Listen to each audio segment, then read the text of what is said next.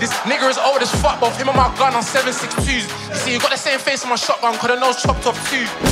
And you don't wanna get hit with his bald one, as his Margs boxed you.